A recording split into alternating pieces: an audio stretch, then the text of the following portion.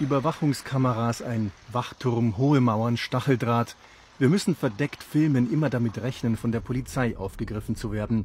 Denn unsere Recherchen stören die chinesische Regierung. Wir wollen mehr erfahren über die Lager, in denen systematisch Muslime eingesperrt werden sollen, zur Umerziehung. Ein Passant sagt uns, hier werde studiert, Zwangsstudium Kommunismus. Auf dem Satellitenbild sieht die Anlage so aus. Acht Häuserblocks und ein Sportplatz. Aber was passiert dort genau? Hier in Istanbul können wir mit jemandem sprechen, der die Lager kennt. Denn in Xinjiang selbst will oder kann aus Angst niemand mit uns reden. Die Flagge der uigurischen Unabhängigkeitsbewegung in China verboten.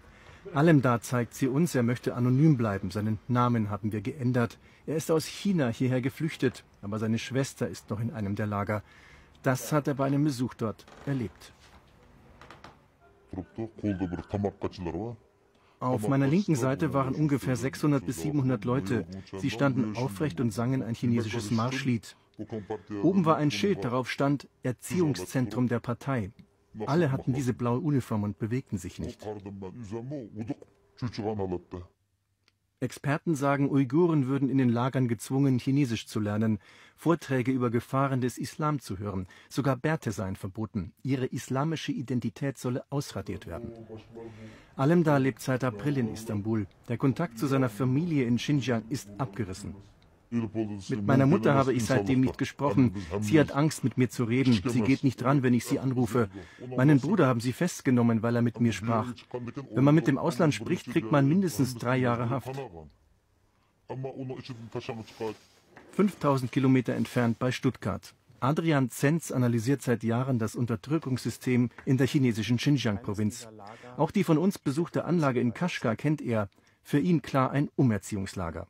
Man kann erkennen, es handelt sich um ja, relativ normale graue Gebäude. Es ist also keine klassische Haftanstalt, die andere Gebäudeformen hat. In China haben diese Gebäude oft vergleichbare oder ähnliche Strukturen, weil sie vorgefertigt hergestellt werden. Zenz wertet Regierungsdokumente und Ausschreibungen für diese Lager aus und zieht so seine Schlüsse. Er spricht von mindestens 1000 Internierungslagern in Xinjiang. Die Menschenrechtsorganisation Human Rights Watch und die Vereinten Nationen schätzen bis zu eine Million Inhaftierte. Die größte Umerziehungsaktion in China seit der Kulturrevolution. Die Umerziehung in Xinjiang ist so massiert und von dem, was wir jetzt von unterschiedlichen Zeugenaussagen gehört haben, geht es zunehmend in die Richtung, dass man von einer Art kulturellem Genozid ausgehen muss. Die Provinz Xinjiang liegt ganz im Westen Chinas. Das Verhältnis zwischen den hier einheimischen Uiguren und Chinesen ist seit langem angespannt. Peking möchte die muslimische Religion zurückdrängen, sieht Terrorgefahren. Viele Uiguren empfinden die Chinesen als Besatzer, fühlen sich von Peking unterdrückt. Die Unruhen 2009 haben die Spaltung verstärkt. Uiguren attackierten Chinesen in der Provinzhauptstadt. Knapp 200 Menschen starben. Danach baute Peking den Sicherheitsapparat aus, gab es mehr und mehr Repressalien. Die Folgen sind heute in Kaschgar überall spürbar, etwa auf dem Markt, eine Touristenattraktion. Die Messer der Standbetreiber sind angekettet und registriert. Die Machthaber wollen verhindern, dass Uiguren sie als Waffe gegen Chinesen einsetzen. Beispiel Ausweiskontrollen alle paar Meter. Nur Uiguren müssen ihre Pässe zeigen, Chinesen können einfach durchgehen. Per Zufall können wir hier die Festnahme eines Uiguren filmen. Der Grund ist unklar. Sie nehmen ihn mit. Wohin? In eins der Lager? Oder die Itkar-Moschee. Es weht die rote Fahne.